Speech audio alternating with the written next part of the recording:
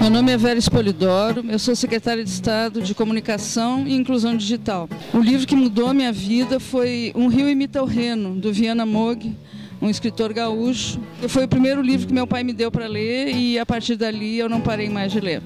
A Montanha Mágica, de Thomas Mann, porque é o livro em que se concentra de forma mais precisa e mais esteticamente perfeita e construída aquilo que se chama espírito de uma época, de crise e apogeu.